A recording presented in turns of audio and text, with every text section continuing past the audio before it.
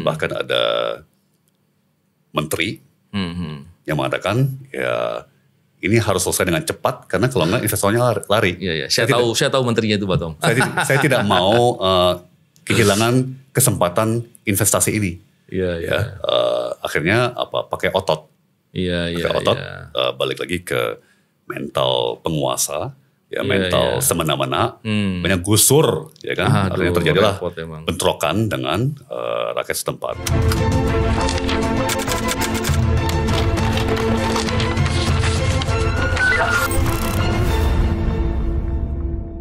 Bismillahirrahmanirrahim. Assalamualaikum warahmatullahi wabarakatuh. Salam integritas.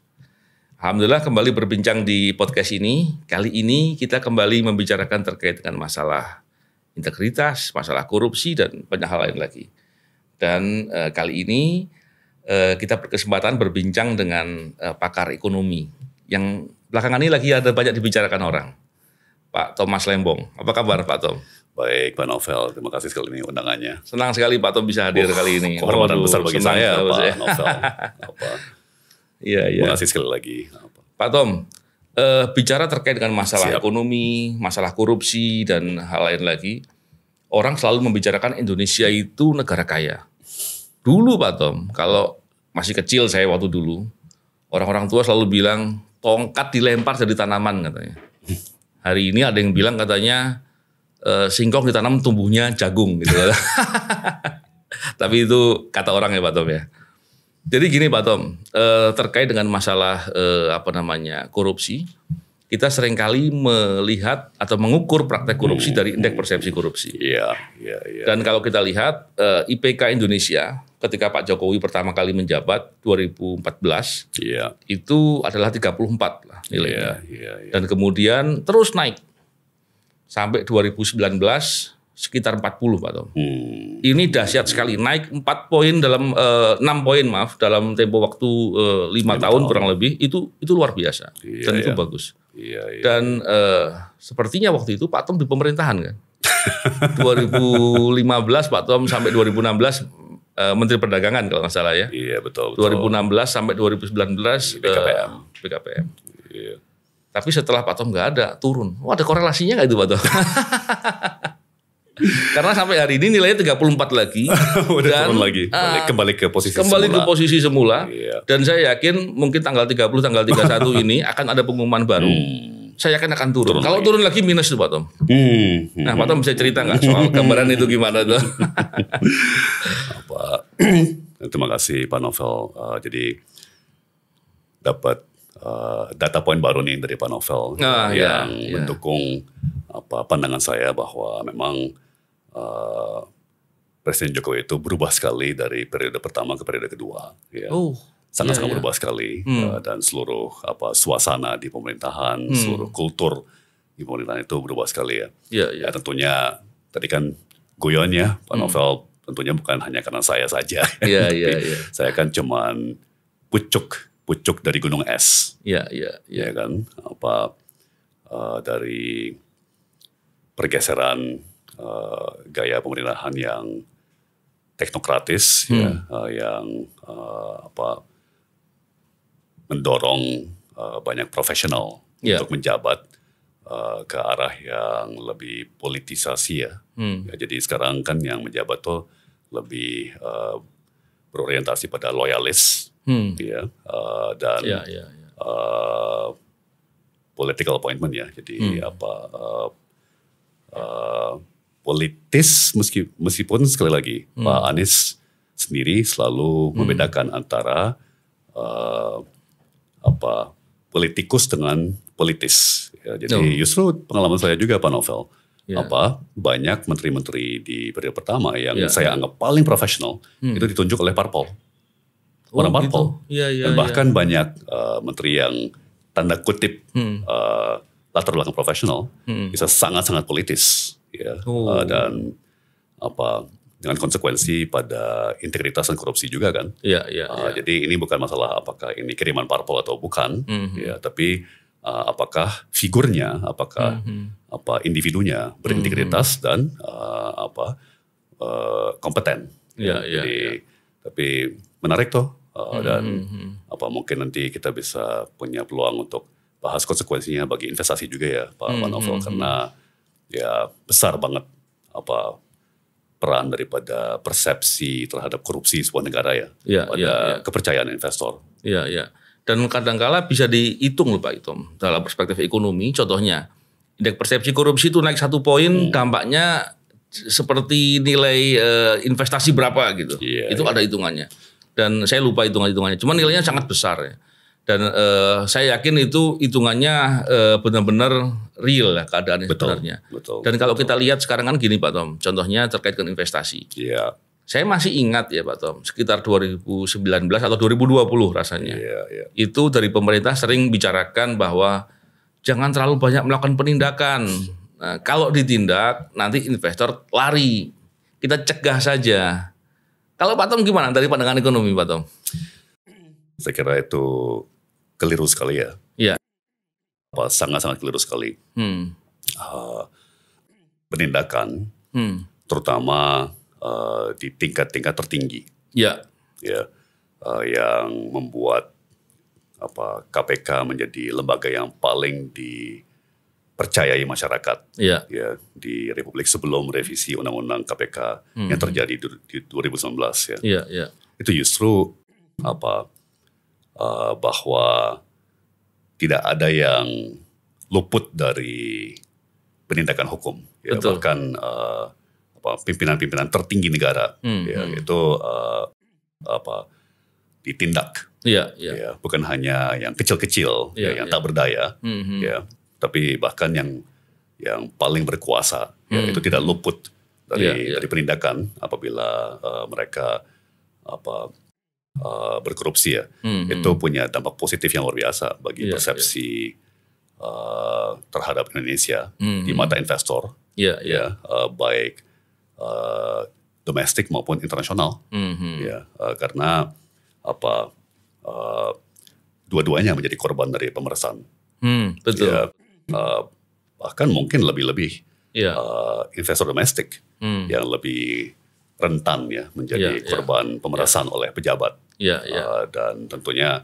perusahaan uh, internasional juga Hmm. tapi kalau mereka mah tinggal ngambek aja Iya, Jadi iya. mereka ya udah kalau gitu saya nggak nggak jadi invest Iya, iya. tapi kalau Beberapa perusahaan invest- investasi, perusahaan internasional Pak, Pak Tom. iya pak ketika dia menyuap ke Indonesia, di negaranya dia dihukum loh, Pak Tom. betul Contohnya betul, perusahaan betul, SAP lah di ya, Jerman.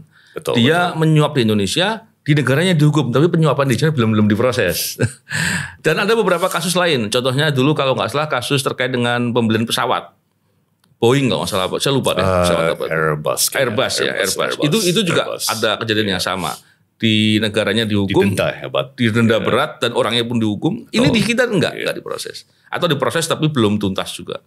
Jadi banyak problem-problem seperti itu. Harusnya kan korelasinya gitu ya Pak Tom ya. betul betul betul jadi apa uh, yaitu satu salah strategi salah paradigma ya Ya. bahwa ya sudahlah apa uh, biarkan korupsi berjalan ya karena itu melancarkan Iya. ya kan uh, pengambilan keputusan Oh Ya, gitu. itu Oh iya iya. apa iya. uh, serius saya Iya, iya, iya. sering mendengar argumen seperti itu ya, Iya, ya, iya, apa iya. kalau korupsi di apa di cegah atau di, Iya, di iya. stop gitu kan Iya. ya uh, pejabat akan apa akan tidak lagi mau mengambil keputusan Hmm. ya dan itu sangat menghina ya bagi Hmm. uh, apa jutaan ASN yang berintegritas Iya, iya, yang uh, mau mengambil langkah yang benar ya. Hmm. Uh, jadi itu itu apa sebuah paradigma yang sangat sinis ya yang sangat Iya, jahat iya, iya, Uh, iya. apa uh, dalam pengalaman saya apa novel pikiran Hmm. saya 70-80% daripada ASN itu mau bebas korupsi Oke. minimum ya minimum Iya, minimum, iya, iya. minimum jadi saya kan kalau ngitung selalu konservatif Hmm, ya, iya. jadi minimum 60 sampai 80 persen dari Dari mana Pak Tom bisa memperkirakan itu? Eh, memang eh, apa tidak sepenuhnya scientific Iya. harus saya akui ya jadi ini semacam sampling informal Hmm, ya. jadi waktu saya di Kementerian Perdagangan ya, kemudian di BKPM Iya, iya. uh, makanya di podcast lain saya pernah bilang uh, apa banyak sekali pejabat kita tuh uh, capek sekali Iya, sampai iya. ngantuk sekali bahkan ketiduran di rapat. Kenapa? Karena mereka uh, bidik ke usaha sampingan, Usaha sampingan. usaha ya, sampingan ya, ya, ya. untuk ada sumber penghasilan lain, Iya, ya iya. kan? Untuk menopang sebuah gaya hidup yang Hmm. apa sesuai dengan status sosial mereka yang tinggi, ya kan supaya mereka tidak harus korupsi. Iya, Ya, iya, jadi iya. apa dan secara informal kalau saya coba hitung ya Hmm. eh, apa catat-catat gitu ya. Iya. Eh, ya itulah perkiraan saya. Eh, 60 sampai 80 persen dari ASN kita sebenarnya kerja keras ya untuk menghindar dari praktek-praktek yang eh, tidak baik termasuk korupsi. Iya, iya. Memang repot sekali Pak Tom. Kalau kita lihat induknya korupsi kan konflik kepentingan Pak Tom. Konflik of interest. Banget, banget, Iya kan? Induknya korupsi di situ. Awal Betul, mulanya di betul. situ. Hari ini kita boro-boro ngomongin konflik of interest Pak Tom. Yang ada pembenaran-pembenaran. Ada pejabat yang kemudian ada afiliasi dengan suatu usaha tertentu. Dan kemudian dia tetap mengambil kebijakan di bidang itu. Betul betul betul. Itu kan konflik of interest kentara sekali. Bahkan ada orang yang pejabat yang suatu hal yang terkait dengan suatu eh, apa namanya Betul, diduga perkara atau atau suatu masalah lah. Yang idealnya dia harus mengundurkan diri gitu.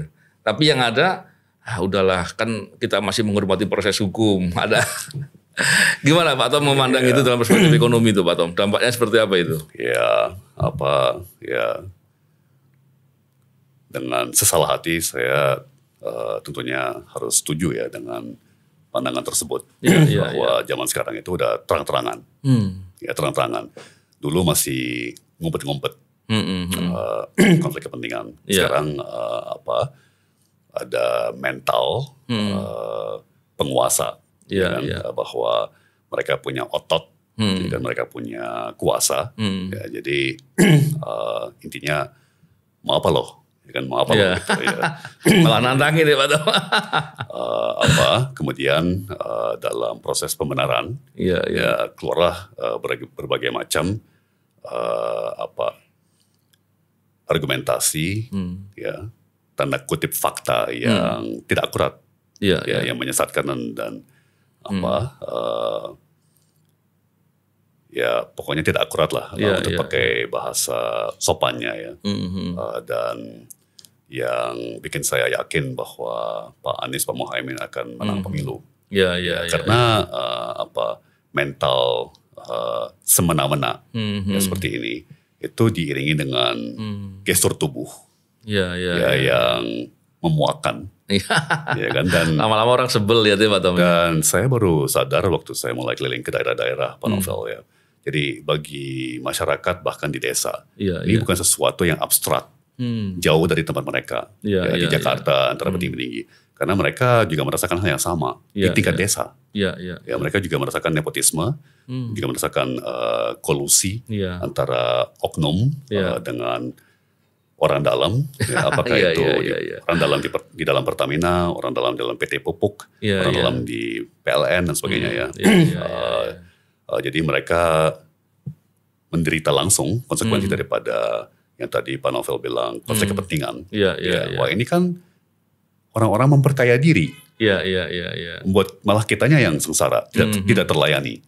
Iya, Ya kan? iya, iya. Eh, makanya kan stok diesel, ya stok Iya, solar iya. di mana-mana selalu habis terus. Ya Hmm, kenapa? Karena di apa di, di boleh dibilang di dicuri iya, oleh iya. oknum yang eh, berkolusi dengan orang dalam ya di cabang Pertamina setem- setempat. Iya, iya. Ya, jadi eh, apa memang kalau eh, konflik kepentingan terjadi di tingkat tertinggi negara itu menjadi simbol. Hmm. Ya, tapi kenapa ini punya efek Iya, elektoral yang sangat besar? Ya karena itu langsung berkorelasi Hmm. dengan pengalaman pribadi Iya, iya.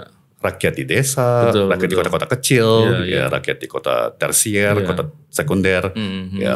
Eh, dan kayaknya kita kita elit politik di Jakarta tuh nggak menyadari Iya, iya. betapa iya. muaknya eh, masyarakat luas nih ya. Iya, Eh, betul, apa betul. orang pikir oh ini cuman mainan orang elit, Hmm. ya eh, abstrak teori. Iya, ya. Tapi iya, iya. bagi rakyat sampai ke pelosok-pelosok ini sangat-sangat konkret, sangat-sangat real. Iya. Orang lama-lama semakin paham ya Pak Tom ya. Gini Pak Tom, kalau kita lihat konflik kepentingan ya, kadangkala ketika itu dianggap lumrah atau biasa, kita lupa bahwa orang pejabat yang punya konflik kepentingan itu berbahaya ketika dia mengambil kebijakan. Hmm. Bisa jadi kebijakannya tidak serta-merta adalah perbuatan korupsi langsung. Tapi ketika kebijakannya punya korelasi dengan kepentingannya dia dan kemudian berdampak, baik berdampak lingkungan, berdampak kerugian bagi negara atau kerugian bagi masyarakat, itu dampaknya besar sekali. Dan saya yang sangat yakin itu lebih besar dari praktek-praktek korupsi Itu betul, selama Pak. ini. Itu betul Pak. Gimana pandangan Pak Tom? Jadi apa ya eh, sebagai teknokrat dan yang memanfaatkan masa-masa pandemi ya, Iya. masa-masa eh, tidak menjabat untuk mendalami eh, apa riset eh, data dan fakta dari seluruh dunia. Iya, iya, iya. Ya, Eh, itu praktis boleh dibilang sudah menjadi sebuah konsensus konsensus global Hmm. bahwa eh, distorsi pada kebijakan Hmm. ya yang di apa yang dimotori oleh eh, konflik kepentingan Iya. itu kerugian pada ekonomi beberapa kali lipat dibandingkan eh, apa korupsi yang Oke. tanda kutip ya tanda kutip Ya, ya. sekedar sokokan Iya, iya, iya. ya hanya apa apa membantu di sini membantu di sana ya Iya, atau iya. selesaikan ini selesaikan itu Hmm, itu nggak ada apa-apanya Iya, dibandingkan eh, apa Kebijakan, kebijakan yang salah. Iya, kebijakan yang salah. yang iya. salah yang merugikan negara Iya, iya. ya karena eh, kepentingan yang sempit Hmm. ya Iya, eh, yang menyogok gitu ya Hmm, hmm, hmm. Eh, dan eh, tergantung pada negaranya sih tapi Hmm. mungkin rasionya antara 10 kali lipat sampai 100 kali lipat Iya, iya, iya. Ya. Uh, oh karena Dahsyat. apa kita suka bilang di dalam policy Hmm, atau pembuatan kebijakan ya eh, senjata yang paling dahsyat itu Hmm. adalah bolpen iya, iya, iya. itu kita sebagai menteri Iya, iya. menandatangani suatu peraturan Iya, iya. itu langsung berdampak kepada jutaan pelaku Usaha ya. usaha Iya, kepada puluhan juta konsumen Hmm, ya jadi iya, meskipun iya. misalnya dampaknya cuma Hmm. sepuluh ribu perak Iya, iya, ribu iya. perak dikalikan dengan 130 juta konsumen misalnya Hmm, hmm, hmm. setiap tahun Iya, itu dampaknya luar biasa Iya, itu iya. apa bahkan korupsi miliaran puluhan miliar ratusan miliar bahkan triliunan itu nggak ada apa-apanya dibandingkan Hmm. Iya, dengan uh, apa uh, distorsi kebijakan yang merugikan Iya, puluhan juta dan bahkan ratusan juta konsumen Iya. uh, dan pelaku usaha Ya, sebaliknya juga Pak Tom. Kalau itu digunakan untuk kepentingannya sendiri. Contohnya ini Pak Tom. Kita sering lihat masalah impor kan. Ada beberapa jenis komoditi tertentu impor yang luar biasa. Bahkan beberapa jenis eh, terkait dengan masalah komoditi pangan. Iya. Itu parah sekali dan berdampak kepada petani Betul. atau nelayan dan lain-lain. Dan itu ketika dikonversi itu pengit- apa, kerugiannya besar sekali. Dan orang-orang itu pengambil kebijakan yang nggak benar itu atau korupsi tadi itu dapat keuntungannya paling berapa lah gitu. Jadi jahatnya seperti itu ya Pak Tom ya. betul betul ya uh, kebetulan Pak Novel singgung isu pangan ya Ya. dan itu betul sekali karena uh, volume Hmm, hmm. apa bahan pokok pangan seperti Iya. gula Ya.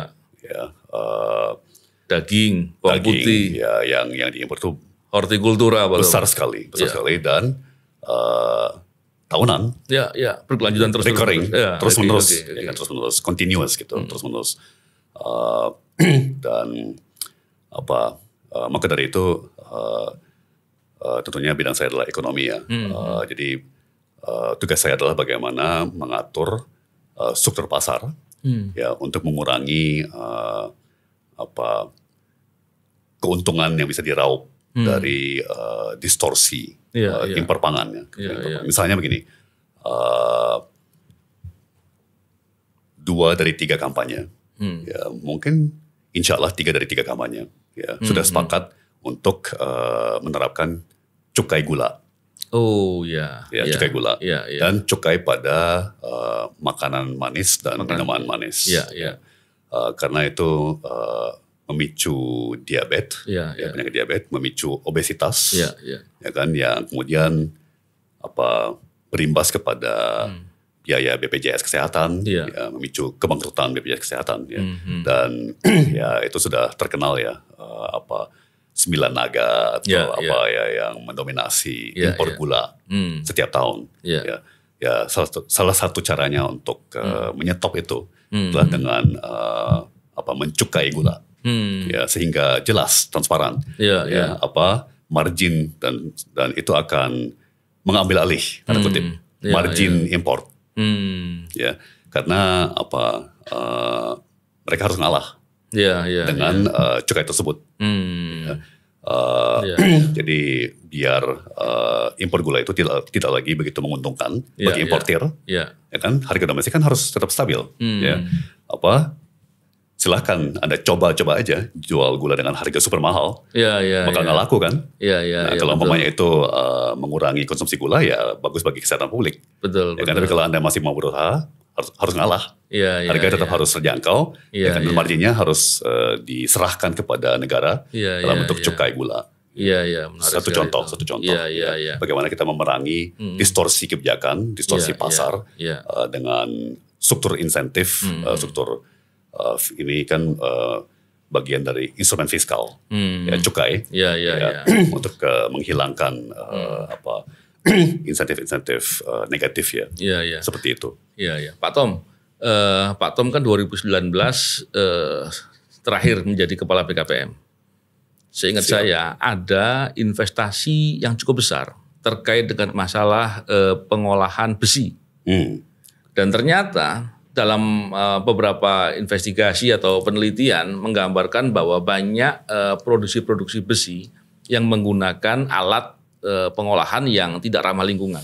Dan eh, besi yang diproduksi itu ternyata eh, tidak sesuai SNI. Iya, iya, Memang iya. itu dalam perspektif usaha bagi pelaku usahanya itu akan sangat menguntungkan karena masyarakat kan awam Pak Tom. betul betul. betul. Seumpama harga besi yang SNI itu harganya 100 ribu seandainya. Eh, sebetulnya orang itu untungnya cuma sekitar 5 ribu mungkin karena Betul, besi betul, untungnya betul. sedikit ya. Betul. Eh, Tapi kalau dia tapi kalau dia main dengan cara begitu, Iya, main dia curang. dia main curang, dia mungkin modalnya cuma 50, dia jual 75. Masyarakat bilang itu murah. betul. Padahal itu besinya sangat rentan, sangat eh, mudah patah dan itu akan berdampak kepada konstruksi dan keamanan keamanan. dan belum nyawa. lagi, Dan belum nyawa. lagi kalau itu digunakan untuk proyek-proyek eh, pemerintah. Iya iya iya. Di masa Tom gimana tuh waktu melihat ini? Karena ada beberapa pandangan begini. Seolah-olah, oh itu kan investasi, jangan diganggu. Wah, saya kok khawatir sekali ketika ada yang ngomong begitu tuh Pak Tom. Jadi apa makanya ya Pak Novel eh, kenapa kita begitu apa semangat dan yakin eh, perlunya perubahannya karena apa, bahkan tatanan prioritas Mm-mm. itu udah, udah amburadul Ya, ya oke. dan itulah eh, yang merupakan esensi daripada eh, konsep Pak Anies dan saya ya, yang namanya eh, kebijakan berbasis nilai Oh, gimana tuh Pak Tom? values based policy Oke. values based policy Hmm. jadi semua kebijakan Hmm. itu harus diakari pada nilai-nilai dan norma-norma yang kita pegang teguh ya. Hmm. Apa itu contoh-contoh nilai-nilai kita Iya, ya eh, yang banyak nilai luhur. Iya. Eh, satunya dan mohon maaf eh, saya pakai istilah bahasa Inggris ya. Iya, iya. Eh, istilahnya itu eh, the primacy of human life Hmm. ya bahwa nyawa manusia itu di atas segala-galanya. Iya, iya, iya, iya. Jadi di saat eh, ada benturan kepentingan Hmm. antara industri dengan nyawa, Iya, nyawa harus menang. iya, betul. Ya, Eh, industri harus kalah. Iya, iya. Ya, Eh, apa? Ya, sih itu kan sila kedua Pancasila, Hmm. kemanusiaan, Iya, iya, iya. humanisme, Ya, ya, bahwa nyawa manusia harus diutamakan, Iya, ya, iya. termasuk kesehatan manusia, Hmm. kesehatan jangka pendek, jangka menengah, jangka panjang, Iya, ya iya, kan? iya. Eh, atau misalnya prinsip keadilan. Iya, iya. ya, itu iya. sebuah eh, nilai norma Hmm. ya yang harus eh, apa mewarnai kebijakan. Jadi Iya, misalnya apakah adil? Hmm, hmm. Ya oke eh, apa pengusaha dapat untung besar Hmm. ya dengan main curang, Iya, kemudian iya. eh, apa eh, BUMN atau Hmm. korporasi lain Mhm. ya kan dia eh, juga ikut curang karena Iya, dia pakai besi yang di bawah standar Hmm. ya Iya, yang iya. dirugikan adalah eh, konsumen Hmm, ya warga karena menjadi gedung yang tidak aman Iya, besinya iya, mungkin gampang pa- gampang patah Iya. atau biaya hidup jadi tinggi kenapa karena rusak melulu jadi harus Iya. diperbaiki melulu ya jadi itu sangat melanggar prinsip keadi- keadilan Hmm, ya hmm, hmm. jadi apa kalau kita mau ngomong investasi Hmm, hmm. korelasi korelasi tertinggi itu adalah dengan integritas Oke. Ya, jadi semua hal-hal yang tidak berintegritas, termasuk uh, apa uh, industri atau investor yang main curang, Iya, iya, ya, iya. itu akan uh, mengkempeskan uh, apa nafsu investor untuk berinvestasi. Hmm. Ya, karena sekali lagi Iya, iya, iya. uh, 60 sem- ya, kalau ini sih saya lebih lagi yakin lagi. Mhm. 80% sampai 90% daripada investor itu mau mau mau menghindar dari hal tidak baik. Ya, termasuk korupsi, termasuk curang. Hmm. Iya, Ya. iya, iya. Jadi apa 10% lah Hmm. ya yang pelaku yang jahat atau curang atau Iya, gimana iya. ya. Uh, uh, dan uh, investor yang 90% Hmm. Iya, yang iya. berintegritas itu ikut menderita ya karena Iya, mereka iya, iya. kalah bersaing Iya, iya, dengan iya, investor yang main curang ya. Ya, Jadi menarik sekali nih. Pak Tom. Karena kalau melihat 10% kan sedikit kan. Sebetulnya. Kalau seandainya kita justru mengikuti kaidah eh, anti korupsi, justru kita menjaga integritas, kita berpeluang dapat investasi lebih besar kan gitu Oh. Pak Tom ya. Harusnya kan begitu. Karena begini Pak Tom, saya kalau dalam perspektif anti korupsi contohnya, dalam best practice, kalau indeks persepsi korupsi di bawah 50, itu harusnya dikedepankan penindakan. Walaupun penindakan eh, itu bersama-sama dengan pencegahan dan pendidikan. Iya, iya. Kalau di atas 50 itu dikedepankan pencegahan, walaupun juga diikuti dengan penindakan dan pendidikan. Iya, iya. Tapi hari ini kan kita lucu nih Pak Tom. IPK kita di bawah 50, tapi kita bicaranya seolah-olah pencegahan saja, penindakan jangan. Ini kan aneh Pak Tom. Saya khawatir ini kebijakannya juga konflik of interest ini. Terus ini Pak Tom, eh, tadi bicara terkait keadilan. Kita melihat ada investasi yang dibuat di Pulau Rempang contohnya. Ini kan problem masalah keadilan yang sangat besar, Pak Tom. Dan seperti seolah-olah dipaksakan karena ada proyek strategis nasional dan lain-lain. Emang bagaimana sih pandangan Pak Tom soal hal-hal seperti itu? Iya. Ini balik lagi kepada nilai-nilai dan norma-norma ya eh, Pak Novel. Em, bahkan ya, eh, tantangan pelik seperti yang kita lihat di Rempang Iya. itu sebenarnya bisa diselesaikan dengan baik-baik Hmm. ya. Tapi butuh waktu, Iya, itu iya, butuh kesabaran Iya, iya. ya dan butuh paradigma kebijakan Oke. ya yang mengenapa- mengutamakan nilai-nilai kemanusiaan, Hmm. bukan mengutamakan eh, bisnis Iya, iya. atau untung rugi. Iya, iya. Ya, apa yang eh, terjadi menurut Hmm. saya di di Lempang gitu ya, Hmm. apa? Ya udah nggak sabar, Hmm, hmm, hmm. udah nggak sabaran, ya kan? Iya, iya. This is taking too long, Iya. ya. Kita harus selesaikan, kita mau selesaikan ini dengan cepat. Hmm, hmm. Bahkan ada menteri Hmm, hmm. yang mengatakan ya ini harus selesai dengan cepat karena kalau nggak investornya lari-. Iya, iya. Saya Saya tahu, saya tahu menterinya itu, Pak Tom. Saya, saya tidak mau eh, kehilangan kesempatan investasi ini. Iya, iya. Ya, Eh, akhirnya apa? Pakai otot, Iya, iya, pakai otot. iya. eh, balik lagi ke mental penguasa, ya Iya, mental iya. semena-mena, Hmm. banyak gusur, ya kan? Aduh, Akhirnya terjadilah bentrokan dengan eh, rakyat setempat. Iya, Ya. iya, iya. Eh, eh, itu satu contoh yang eh, menyedihkan tentunya, memprihatinkan. Hmm. Eh, apa eh, banyak contoh positif Iya, iya. ya di mana eh, investor eh, bersabar Hmm, eh, dan eh, apa eh, menyiapkan bahkan kalau perlu modal Hmm, hmm. untuk bisa bersabar. Iya, iya, Ya, iya. Jadi dia bakar uang Iya, ya, iya. karena dia menyadari itu butuh waktu Iya, ya iya. kan dan itu masukin aja ke dalam hitungan biaya total total investasi Iya, iya, ya kan? iya, iya. dan itu cara benar untuk membina investasi ya Hmm. apa jujur harus Iya, jujur iya. bicara kepada investor Oke. ini akan butuh waktu Iya, itu Iya. mestinya begitu akan lebih ini ya, lebih baik ya, dan justru eh, itu hanya contoh positif eh, bahkan ada contoh sangat positif Hmm. ya, sangat positif di mana Iya. investor itu bukan hanya bersabar dan memberikan waktu dan ruang yang diperlukan untuk Hmm. Iya. dialog publik untuk cari solusi bersama Hmm. ya, eh, dengan eh, rakyat setempat Iya. tapi bahkan eh, dengan apa kreativitas dengan Hmm. imajinasi dengan apa ketulusan Hmm. eh, mencari cara kerjasama yang saling menguntungkan Iya. ya jadi uh, ikut memberikan peran kepada uh, rakyat setempat Mhm. ya Uh, meskipun itu pun juga butuh kesabaran dan Iya, iya, apa orientasi jangka panjang ya Iya, misalnya iya, iya. kalau rakyat setempat mau diberi peranan dalam Mhm.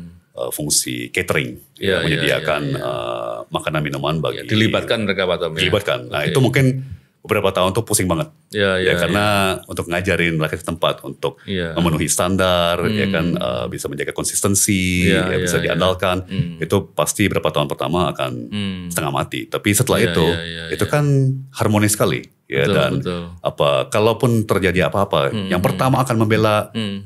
investor itu rakyat setempat Masyarakat. Bukan mereka malah ngelawan ya. persis di sini mereka Mereka melawan tidak adilan kan yang terjadi. Uh, sementara kalau kita sekali lagi Hmm. uh, apa menuangkan kesabaran, menuangkan niat baik, Iya. menuangkan apa rasa hormat dan saling menghormati, Hmm. Iya. ya dan ini kan juga sebetulnya asik uh, Pak Novel. Ini Hmm. Betul, betul. terutama buat buat generasi muda kita, mereka paling asik ditantang. Iya, ya. iya, iya. Coba cari solusi.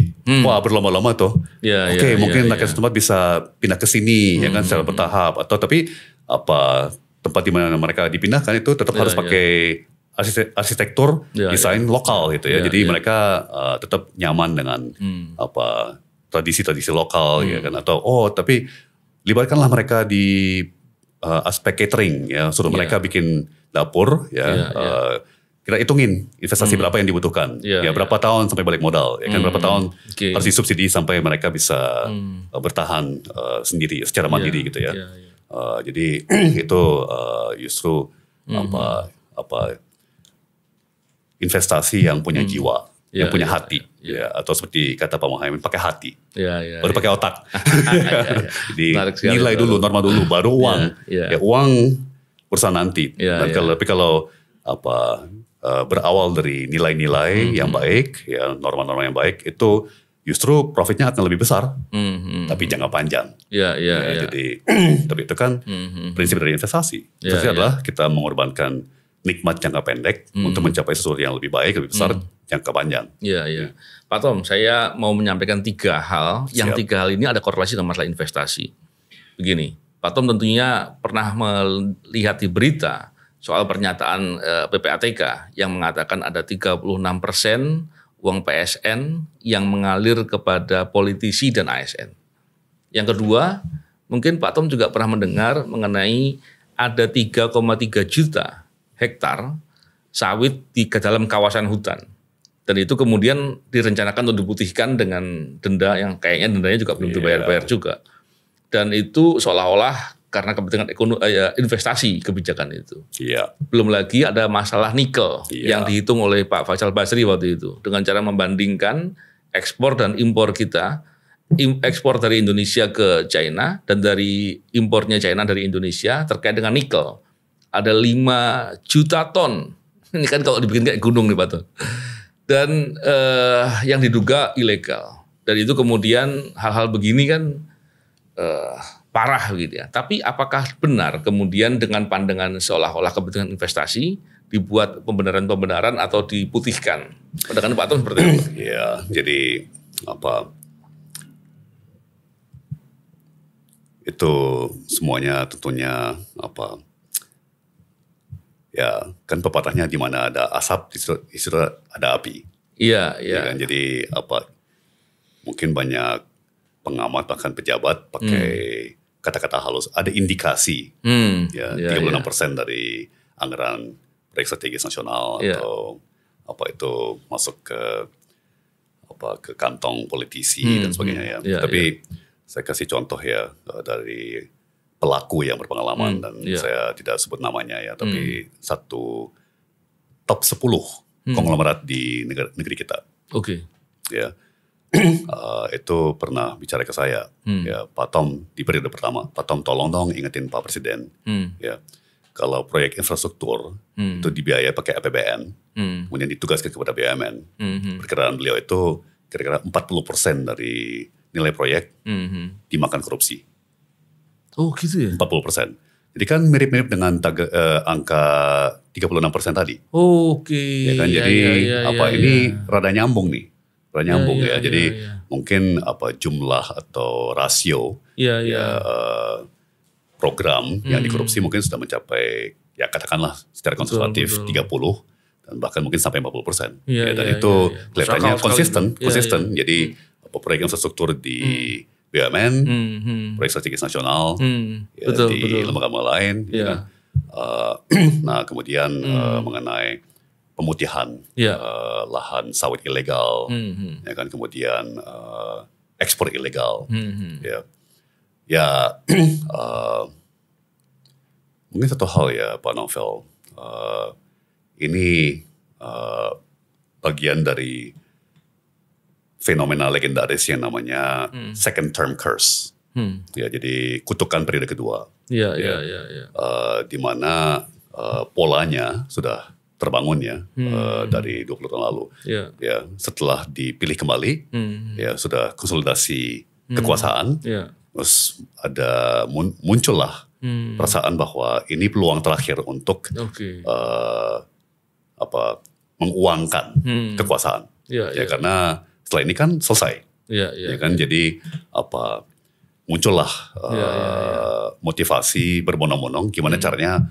maksimalkan Hmm. ya eh, apa peluang untuk menguangkan kekuasaan Iya, iya, iya, Ya. iya. jadi ini menarik eh, Mhm. eh, Pak Novel lebih luas ya Hmm. eh, dan apa mungkin nanti eh, Pak Novel dan kawan-kawan di Iya, iya. bidang anti korupsi bisa memban- membantu kita di Iya, iya, iya. membuat kebijakan ekonomi Hmm. ya membuat eh, kebijakan eh, polhukam tatanan Oke. negara gitu ya Iya, iya. Eh, bagaimana kita menghindari Hmm. eh, insentif negatif seperti itu Iya, iya, ya iya. di mana apa pejabat-pejabat periode kedua Hmm. itu berlomba-lomba ya mengutamakan gimana kita menguangkan Iya, iya. peluang yang masih ada Iya, yang iya. cuma tersisa berapa tahun gitu kan. Betul, betul. Potensinya begitu jadinya ya. Nah, Saya sudah punya beberapa solusi, Iya. ya, beberapa ide untuk uh, mencegah Hmm. uh, hal seperti itu. Iya, iya. Ya, Uh, tapi tentunya perlu uh, dialog publik, ya, Betul. perlu uh, keikutsertaan pakar-pakar, ahli-ahli, uh, apa masyarakat, masyarakat sipil, Iya, iya. uh, dan bahkan dunia usaha ya untuk Hmm, hmm. mematangkan semua ini. Iya, iya. Menarik sekali. Uh, apa bagaimana kita bisa mencegah Iya, iya. uh, kutukan periode kedua ya Hmm, dan hmm, hmm.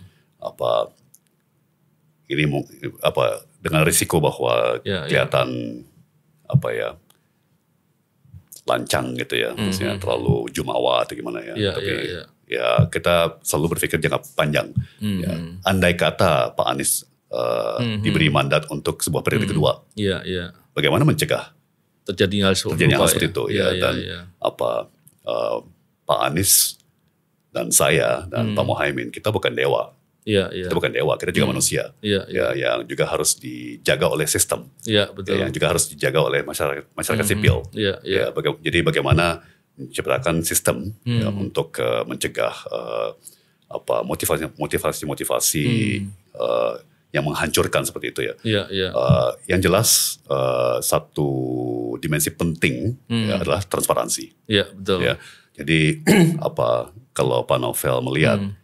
ada juga korelasi dengan meningkatnya korupsi Iya, dengan menurunnya transparansi betul. ya kan dan menurunnya transparansi itu Hmm. juga beriringan dengan uh, membungkam Hmm. kebebasan berekspresi Betul. ya kan jadi apa uh, apa uh,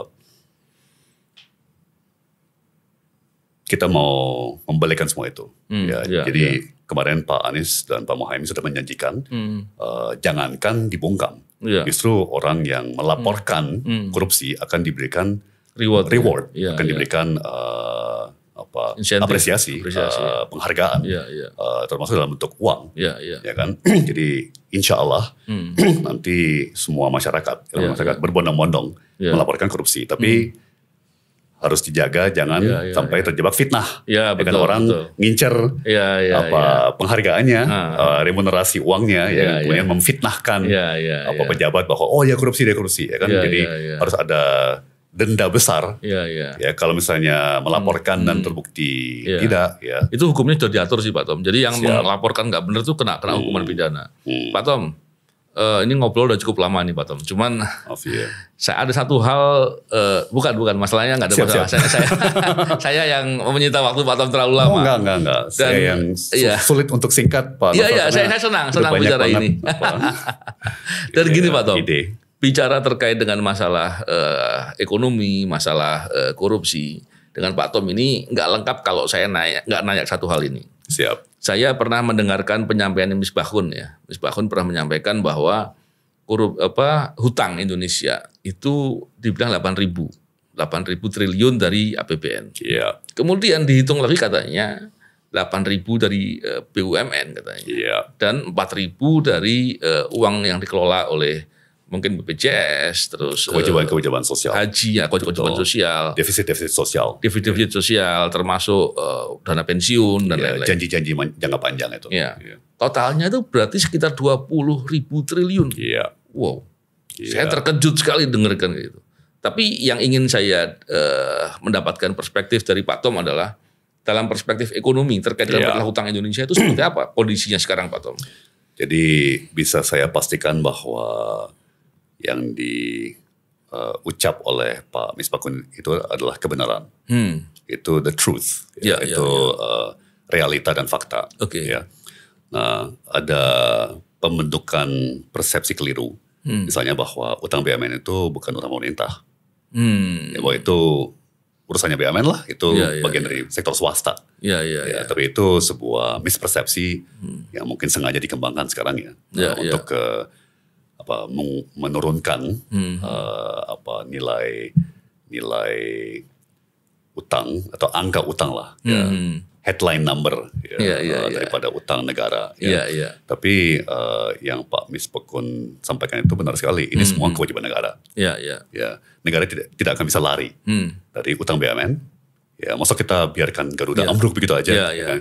Uh, uh, misalnya atau kita biarkan PLN bangkrut begitu aja. Hmm. Ya, pasti kita harus uh, harus selamatkan. Berarti utang itu akan kita tanggung. Ya. Ya, ya. Uh, nah, kemudian juga janji-janji sosial, Hmm. ya itu punya nilai uang. Hmm. Ya, meskipun masih jauh dari sekarang, Ya. ya itu kalau pakai formulasi yang benar, Hmm. itu ada istilahnya nilai sekarang, Ya. ya, atau net present value. Hmm. hmm, ya hmm. Uh, dan itu sekali lagi uh, apa dikeluarkan dari hitungan total ya. Ya, ya, Nah, ya. terakhir ini Pak Novel apa ini gejala klasik dari sebuah paradigma yang namanya tax and spend.